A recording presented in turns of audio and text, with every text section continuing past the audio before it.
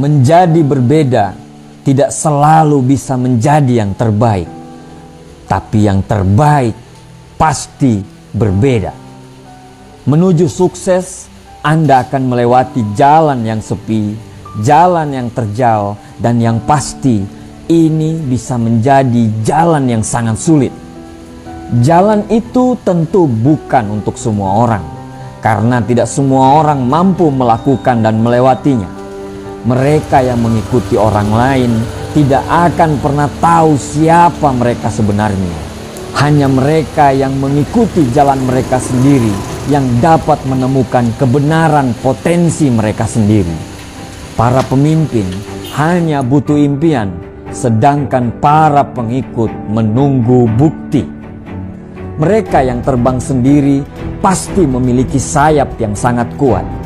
Mereka yang berjalan sendiri memiliki kaki dan arah yang sangat kuat. Orang biasa selalu membutuhkan orang lain untuk kelangsungan hidup mereka. Mereka akan selalu membutuhkan perhatian, butuh pengakuan dari orang lain untuk